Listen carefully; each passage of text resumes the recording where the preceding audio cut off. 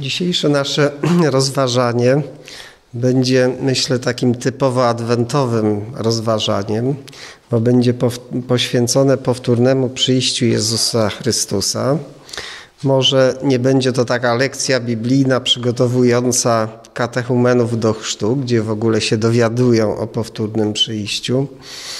Chcę powiedzieć, że jest wielka potrzeba, żeby mówić o powtórnym przyjściu Chrystusa, gdyż zauważam, są to moje ostatnie jakby doświadczenia w rozmowie z ludźmi, którzy w zasadzie nie są świadomi tej nauki. Im trzeba jakby podstawowe rzeczy mówić, że po prostu y, Jezus powróci. Wielu ludzi o tym nie wie. Tak? Dla nas jest to rzecz oczywista, a dla mm, innych niekoniecznie. Nauka o powtórnym przyjściu Jezusa Chrystusa w naszym nauczaniu, w naszej teologii jest jedną z podstawowych nauk, można powiedzieć nawet to, co nas wyróżnia od innych wspólnot, to jest jednym z takich tematów, który nas wyróżnia, to jest właśnie nauka o powtórnym przyjściu Jezusa. I to może nie tyle sama nauka, bo ona gdzieś oczywiście też funkcjonuje w innych społecznościach chrześcijańskich, ale podkreślenie bliskości przyjścia Chrystusa, prawda? To nas jakby w szczególności wyróżnia. I ja osobiście zauważam, że rzeczywiście w innych społecznościach ten temat jest jakby pomijany. E, temat powtórnego przyjścia. Na ten temat po prostu wiele się nie mówi. W zasadzie to chyba nie, nie potrafię powiedzieć, czy słyszałem jakieś kazanie, choćby w internecie, czy gdzieś, gdzie osoba z innego kościoła mówiłaby na temat powtórnego przyjścia Jezusa Chrystusa. A więc jest coś takiego. Ale z drugiej strony też zauważam, że w związku z tym, że pojawiają się od czasu do czasu próby określenia bliższej, bliższego czasu powtórnego przyjścia Chrystusa, że jakby są takie, uważam, dwie skrajne e, postawy względem tego. Jedni to są ci, którzy jakby twierdzą, że potrafią określić dosyć precyzyjnie czas powtórnego przyjścia, a inni z kolei jak usłyszą, że ktoś coś mówi o o czasie przyjścia Chrystusa, no to od razu mówimy, ale przecież tego nikt nie wie, e, nie jest to człowiekowi objawione, no więc po co się tym zajmować, po co na ten temat czytać i po co na ten temat studiować. Uważam, że obydwie postawy są skrajne i mm, skoro jesteśmy ludźmi, którzy oczekują Pana Jezusa, skoro tęsknimy z, e, za spotkaniem z Nim, to chyba należałoby spodziewać się, że w naszej postawie powinna być taka właśnie takie dążenie do tego, żeby jak najwięcej na ten temat wiedzieć. Zgadza się? Powinniśmy y, jakby łaknąć kolejnych myśli, które Bóg w tym względzie będzie miał dla nas do e, e, powiedzenia. No a tak jeszcze chcę powiedzieć, że jako adwentyści dnia siódmego wywodzimy się z ruchu, który kiedyś określił datę powtórnego przyjścia Chrystusa, prawda? Więc to jakby jest w naszej historii. Nieraz może nawet jakby tego, to, to ten fakt troszkę ukrywamy, no bo to są ci, którzy przepowiadali, to się nie spełniło, no to co to za ludzie, którzy, którym warto ufać, kiedy oni w swojej historii mają tego typu podejścia? Przecież jasne jest, bo Pan Jezus powiedział, że e, na ten temat nie jest nam wiadomy. Ale drodzy, chciałbym abyśmy właśnie, jeśli chodzi o powtórne przyjście Chrystusa, po prostu przeczytali teksty, które mm, na ten temat mówią i starajmy się to zrobić jak najbardziej uważnie, e, prosząc też Boga o to, aby jak najbardziej, jak najwięcej pozwolił nam z tych tekstów, które e, na ogół wydaje nam się, że znamy, jak najwięcej wyczytać I w, tym, w ten sposób, żeby też oczywiście pobudził naszego takiego ducha do, do tego, żeby gorliwiej studiować, gdyż po prostu te perełki, które w tekście biblijnym na pewno są, mogły do nas mm, jakby dotrzeć do naszej świadomości, zainspirować nas i no, pobudzić po prostu do bliższej łączności z Bogiem. Pierwszy fragment, do którego chciałem się odwołać, to będzie fragment z Księgi Dziejów Apostolskich z rozdziału pierwszego, gdzie czytamy następującą myśl.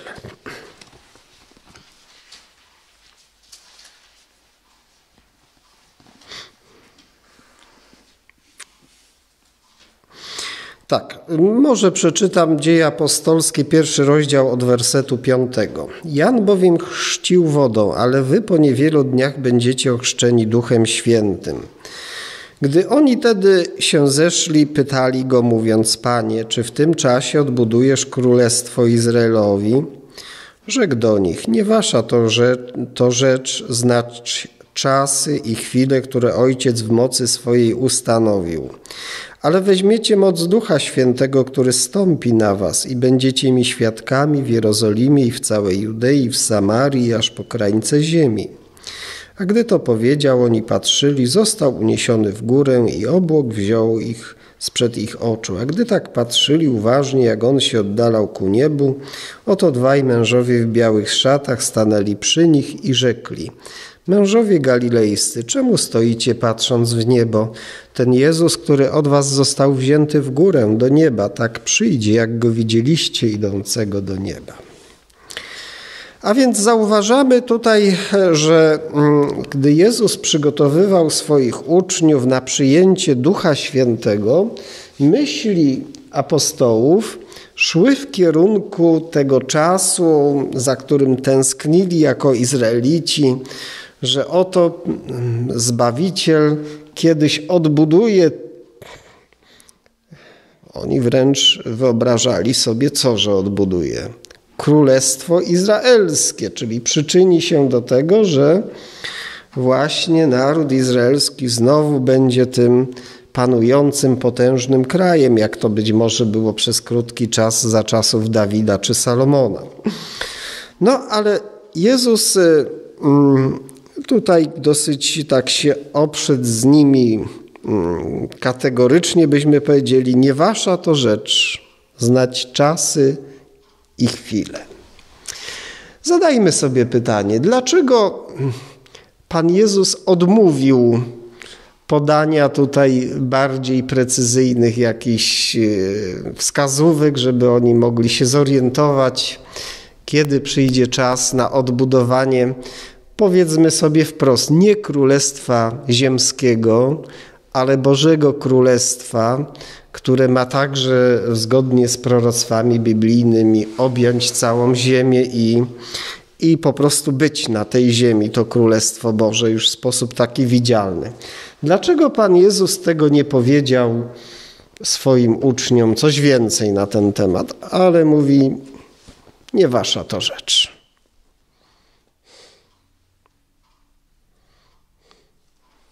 Dlaczego? Opatrzność Boża uznaje, że na ten temat lepiej za dużo nie wiedzieć, przynajmniej do czasu. Mnie się wydaje, że z jednym z powodów to był fakt, że to wydarzenie było odległe. Natomiast y, oni y, spodziewali się, że to będzie niedługo, prawda? Że to będzie za ich życia że to będzie być może akurat to kojarzyli sobie właśnie z tym wylaniem Ducha Świętego, prawda? Wręcz tutaj jest mowa o, o chrzczeniu Duchem Świętym.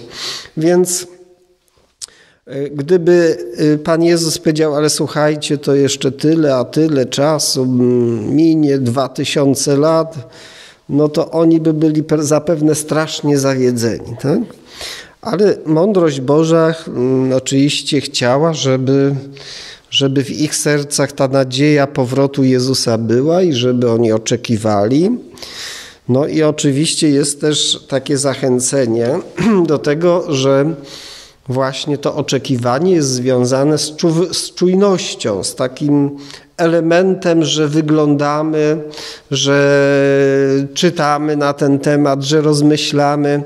I nauka o powtórnym przyjściu Jezusa pobudza nas, nas, też do pewnej aktywności. Możemy zauważyć w historii Kościoła, że kiedy ta nauka o powtórnym przyjściu Jezusa była żywa w sercach ludzi, to ona inspirowała jednak, prawda? No te wieki ciemne, prawda, to były oczywiście pod tym względem zupełnie zagubienie tej myśli o powtórnym przyjściu Chrystusa. Ja mówię o takiej ogólnej świadomości ludu Bożego, więc to zostało zarzucone. No, efekt był wiadomy, prawda? Natomiast jeśli nauka o powtórnym przyjściu Chrystusa e, funkcjonowała w świadomości wiernych, no to to oczywiście ich inspirowało do takiego aktywnego, poświęconego Bogu e, e, życia.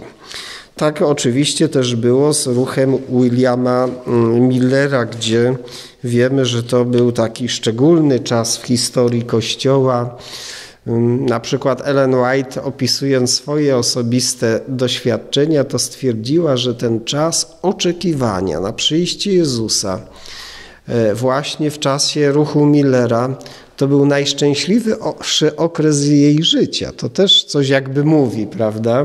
Przecież później też miała wspaniałe doświadczenia, miała, została wybrana na Bożego posłańca, Bożego proroka, e, miała wiele doświadczeń w związku z tym, ale jednak to młodzieńcze właśnie oczekiwanie na spotkanie z Jezusem stwierdziła, że to był ten szczególny czas w jej właśnie E, e, życiu. Tak, a więc Pan Bóg pragnął, aby w sercu ludu Bożego ta nadzieja spotkania z Nim funkcjonowała. I dlatego też nie zostało ludziom objawione, że to będzie trzeba długo na ten, w kwestii tej e, czekać na zrealizowanie się Bożej obietnicy. No i e, drodzy, pozwólcie, że ja przypomnę, może nie wszystkie myśli będziemy czytać, będziemy się tu odwoływać do Waszej pamięci, bo też czas postępuje, nie mamy tutaj nieograniczonego czasu w, w przeciwieństwie do kolejnej grupy, gdzie można sobie już troszkę przedłużyć, ale tu nie możemy tego uczynić. A więc y, będę się odwoływał do waszej pamięci, prawda? Znacie taką wypowiedź, gdy mm, mm, Bóg w księdze Amosa daje taką obietnicę, że nic nie czyni wszechmogący Pan, jeśli najpierw nie objawi swojego planu swoim sługom prorokom. Znamy coś tak, taką wypowiedź? Kiwacie głową, że jest to wam znane, to jest Księga Amosa, trzeci rozdział, gdzie możemy taką myśl przeczytać. No i to nam wskazuje, że e, oczywiście także w kwestii powtórnego przyjścia Jezusa Chrystusa, to światło Boże będzie pozwalało nam zrozumieć Boży plan, prawda? I jakby w tej kwestii być przez Boga coraz bardziej oświeconym, a zwłaszcza gdy ten czas będzie się przybliżał, prawda? Kolejną myśl, na którą chciałem zwrócić uwagę, to E, ten akurat fragment chciałbym, abyśmy przeczytali. Pierwszy list Piotra, pierwszy rozdział, 10 do 12. Tam jest mowa o postawie proroków Starego Testamentu, którzy sami mm, oczywiście prorokowali, ale też byli gorliwymi studentami Słowa Bożego. I ci ludzie Chcieli mieć jak największą wiedzę, tak jak żeśmy tutaj już wcześniej mówili na ten temat. I e, Piotr tak właśnie komentuje ich postawę. Czytam e, pierwszy rozdział od 10 do 12. Zbawienia tego poszukiwali i wywiadywali się o nie prorocy, którzy prorokowali o przeznaczonej dla was łasce. Starając się wybadać, na który albo na jaki to czas skazywał działający w nich duch Chrystusowy, który przepowiadał cierpienia mające przyjść na Chrystusa, ale też mające potem nastać uwielbienie. Im to zostało objawione, że nie sobie samym, lecz Wam usługiwali w tym, co teraz Wam zostało zwiastowane przez tych, którzy w Duchu Świętym zesłanym z nieba opowiadali Wam radosną nowinę. A są to rzeczy, w, który, w które sami aniołowie wejrzeć pragną. Więc jaka była postawa tych ludzi, o których tutaj czytamy? Oni gorliwie studiowali i badali, także w aspekcie czasowym, prawda, kiedy obietnice Boże się wypełnią. A więc y, dla mnie to jest taki przykład do naśladowania, także w kwestii y, nauki o powtórnym przyjściu Jezusa Chrystusa. Jeśli ci ludzie Starego Testamentu, prorocy, starali się o czasie pierwszego przyjścia, czy no oni może nie zawsze e, rozróżniali pierwsze, drugie przyjście, ale chcieli jak najwięcej na ten temat wiedzieć, to i my dzisiaj powinniśmy jak najbardziej gorliwie studiować właśnie pod różnymi aspektami tą kwestię właśnie przyjścia Chrystusa, aby jak najwięcej na ten temat wiedzieć. Ich interesowało. Gdy czytamy księg, w księdze Daniela w 12 rozdziale, w wersecie czwartym, tam jest mowa o tym, że wielu będzie badać i wzrośnie poznanie, prawda? Tam kwestii dotyczących proroc biblijnych, księgi Daniela. No i mm, Ellen White w Wielkim Boju to komentuje w ten sposób, że tam jest też w hebrajskim oryginale, nie jesteśmy tutaj znawcami języka hebrajskiego, ale ona tam podaje, że to wyrażenie hebrajskie w, e, w oryginale Zawiera także myśl, aby rozmyślać nad czasem. Także chodzi o to także w tym tekście, że wzrośnie poznanie i zrozumienie dotyczące czasu y, w kwestiach powtórnego przyjścia Jezusa. Jest opisana historia misjonarza, możemy go nazwać śmiało adwentystycznym misjonarzem, chociaż nigdy ten człowiek nie był adwentystą dnia siódmego, a historia jego życia w skrócie jest opisana także w Wielkim Boju. Mianowicie, mianowicie mam na myśli Józefa Wolfa. Słyszeliście o kimś takim? Józef Wolf?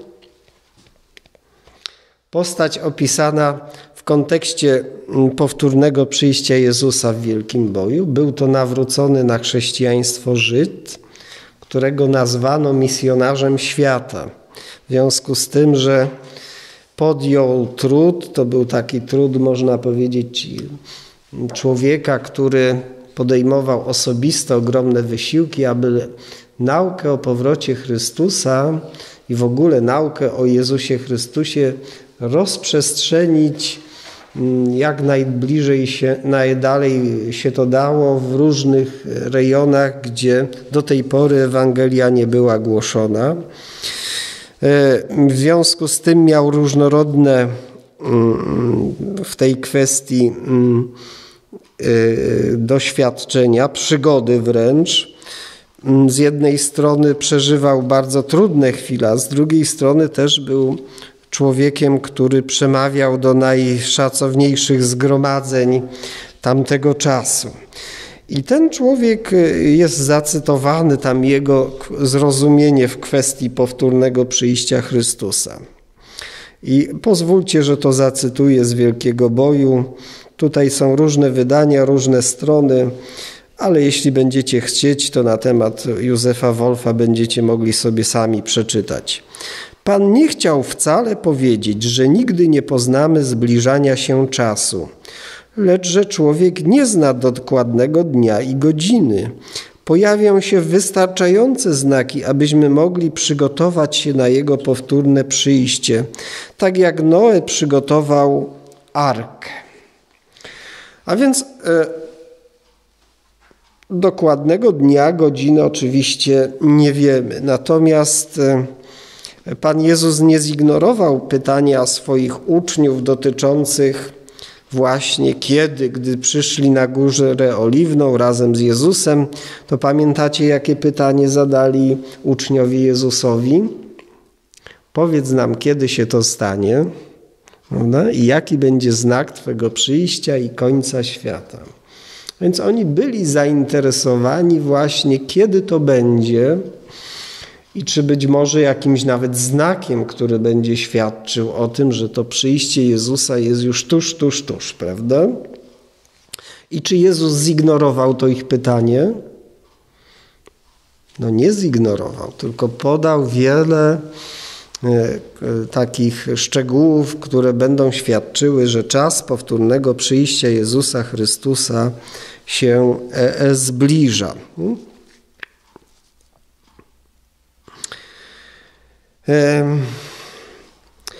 Wiemy, że Pismo Święte mówi o e, tym, że niektórzy będą zaskoczeni powtórnym przyjściem e, Chrystusa. Jest w Słowie Bożym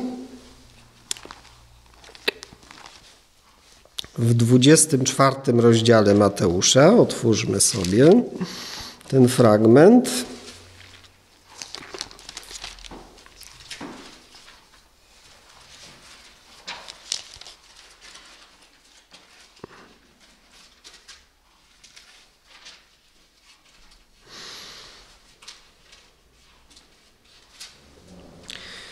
Tak, czytamy tutaj werset 40, mm, mm, może wcześniej nawet przeczytajcie. Przeczytamy, bo tutaj jest odwołanie do Noego, prawda? Więc, więc y, Noe wiemy, że jeśli chodzi o przyjść, o, o potop, czy Noe wiedział, kiedy potop będzie? Skoro mamy takie porównanie. No, wiedział, kiedy potop będzie, czy nie? No, to znaczy on wiedział, że 120 lat, tak? To wiedział, to myśl. A później, kiedy już wszedł do arki, no to wiedział, że po, po ilu dniach spadnie deszcz. Też mu to zostało objawione. Czyli w miarę potrzeby Bóg jakby dodawał mu nowe światło w tej kwestii, prawda? Więc mm, e, tutaj Noe był świadomy pewnych rzeczy.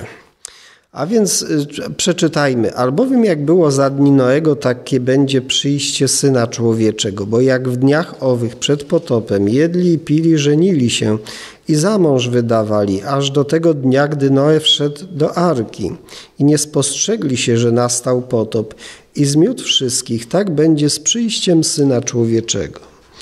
Czyli według tego, co tutaj czytamy, kto będzie zaskoczony przyjściem Jezusa? No ogólnie możemy powiedzieć świat, ludzie, którzy lekceważą naukę o powtórnym przyjściu Chrystusa. Ci są całkowicie zaskoczeni, kiedy już to przyjście Chrystusa jest w trakcie, że tak powiem, realizacji. E, wtedy dwóch będzie na roli, jeden będzie wzięty, drugi zastawiony, dwie mleci będą na żarnach, jedna będzie wzięta, druga zostawiona. O co by tutaj tak chodziło? Jeden wzięty, drugi zostawiony.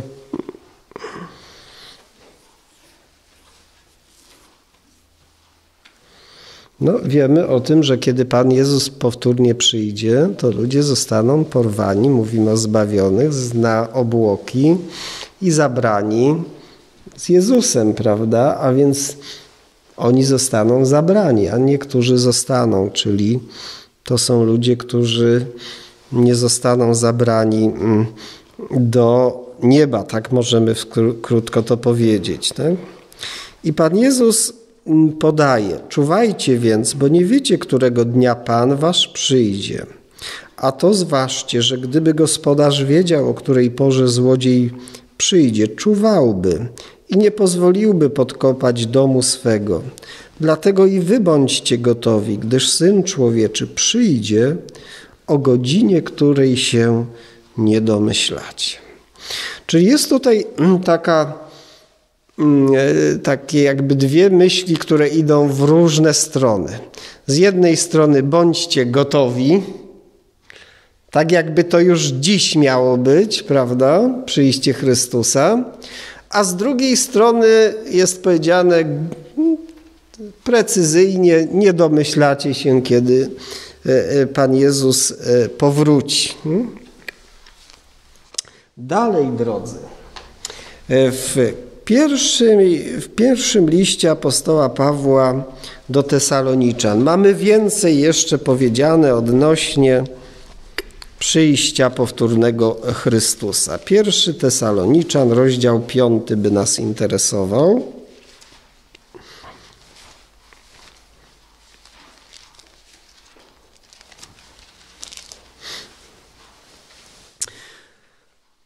I tu od początku. A o czasach i porach, bracie, nie ma potrzeby do was pisać. Sami bowiem dokładnie wiecie, iż dzień pański przyjdzie jak złodziej w nocy. Gdy będą mówić pokój i bezpieczeństwo, wtedy przyjdzie na nich nagła zagłada, jak bóle na kobietę brzemienną i nie umkną. Czyli jest podane pewne wydarzenie i to wtedy już tutaj jest powiedziane, że że ci ludzie mm, zostaną zaskoczeni. Wy zaś, bracia, nie jesteście w ciemności, aby was dzień ten jak złodziej zaskoczył. Wy wszyscy bowiem synami światłości jesteście i synami dnia. Nie należymy do nocy ani do ciemności. A więc popatrzcie, kto ma być według tych słów, które przeczytaliśmy, zaskoczeni?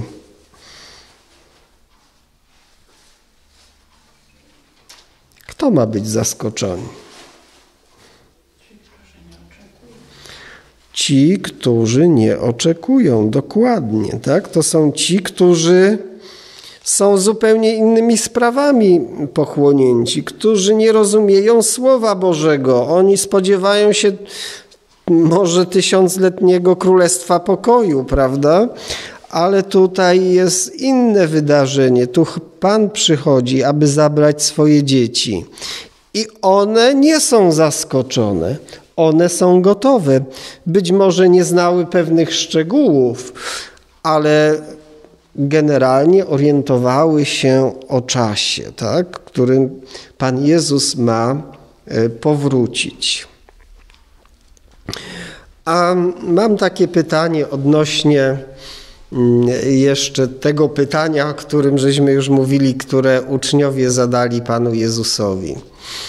Jest tam powiedziane tak: Powiedz nam, kiedy się to stanie i jaki będzie znak Twego przyjścia i końca świata. Zapytali o znak. A czy Jezus odpowiedział na to sformułowanie, na to pytanie? Bo, do, bo znak z czym jest związany? Znak to jest takie wydarzenie, które świadczy, że po tym poznamy, prawda, że to już naprawdę już się dzieje, już powracasz. No i czy Jezus y, podał taki znak? W tekście?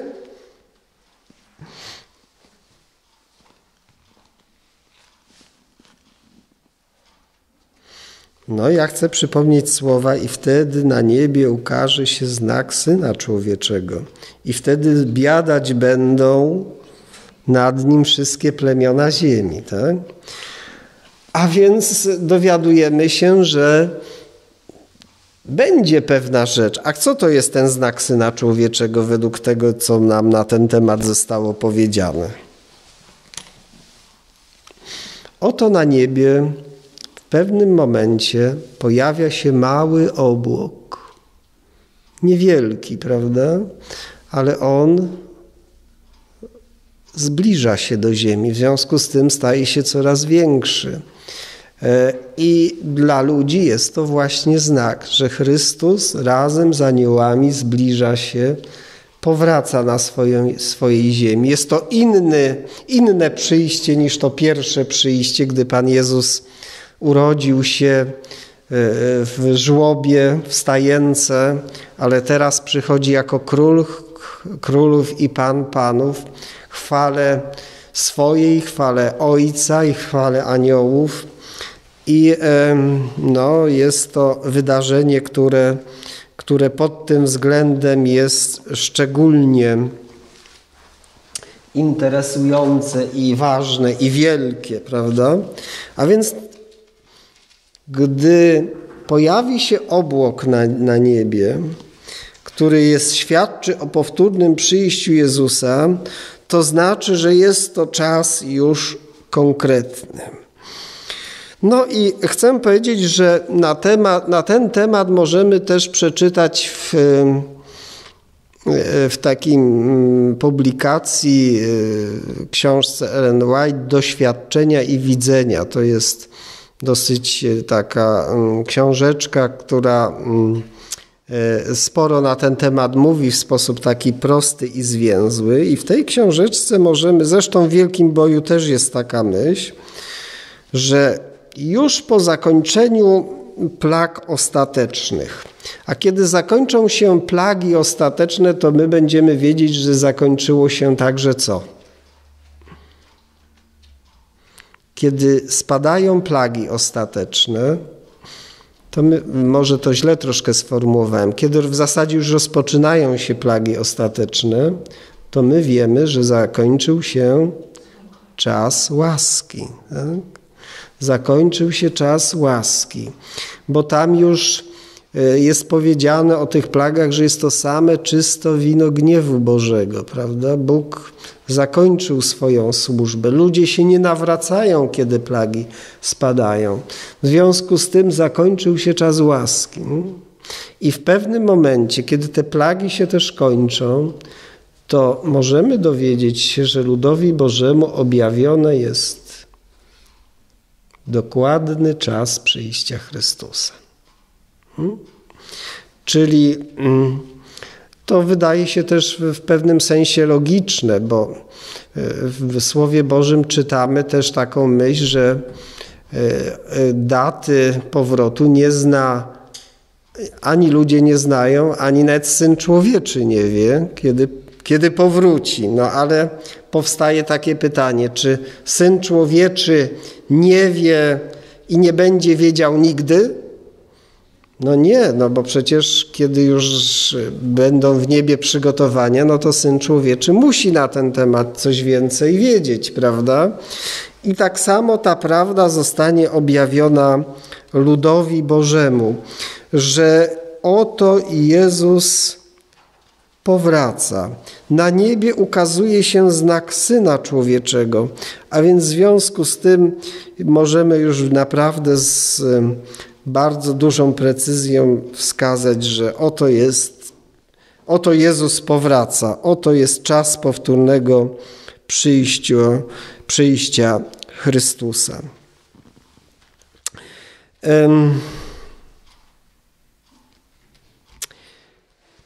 Chciałbym odwołać się do przypowieści, którą Pan Jezus podał w kontekście swojego powrotu.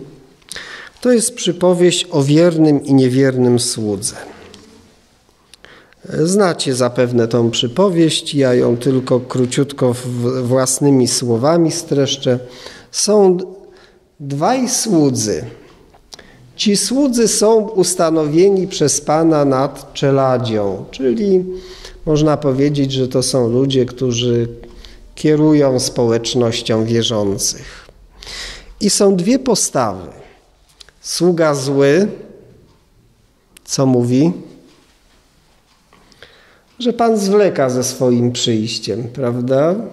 I w związku z tym jego mm, słowa niekoniecznie być może się zmieniają, ale styl życia zaczyna się zmieniać, bo skoro Pan Bóg zwleka, to ja mogę sobie na wiele jeszcze rzeczy pozwolić użyć na tej ziemi, prawda?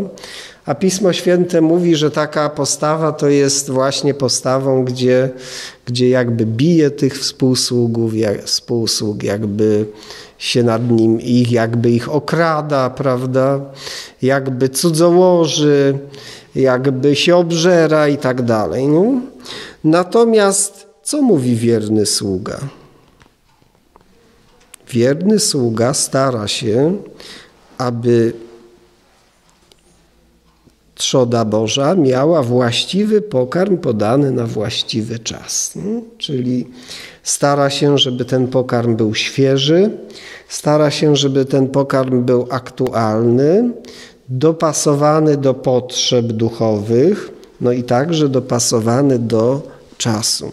I postawa tego wiernego sługi nie jest taką postawą, która jakby odwleka przyjście Jezusa Chrystusa. Słuchajcie, jeszcze to musi się wypełnić, to, to, to, bo oczywiście pewne proroctwa muszą się wypełnić, ale one nie powinny nas tej czujności jakby mm, mm, pozbawiać, a wręcz przeciwnie, powinniśmy się spodziewać, że pewne rzeczy mogą przyspieszyć i mogą się stać bardzo szybko, a zmiany mogą być nieodwracalne. Drodzy, chciałbym, żeby to rozważanie było taką inspiracją dla nas do osobistego studiowania na temat powtórnego przyjścia Chrystusa, także czasu przyjścia Chrystusa, bo to nie jest zabronione, to nie jest grzechem. Prorocy Boży starali się też tymi rzeczami zajmować. Księga Daniela też nam mówiła na ten temat, że właśnie wielu będzie badać pod względem czasu i na ten temat będzie wzrost poznania. Niechaj nauka o powtórnym przyjściu Chrystusa będzie w naszych sercach, no bo jeśli kochamy Jezusa Chrystusa, to tęsknimy za spotkaniem z Nim. Ona w pewnym sensie jest też miernikiem naszej naszej żarliwości i gorliwości dla Pana i, jego, i naszego bliskiego związku z Nim. Niech nauka o przyjściu Chrystusa jest w naszych sercach i niech będzie też przez nas wyraźnie głoszona wszystkim tym, z którymi mamy możliwość na ten temat rozmawiać. Amen.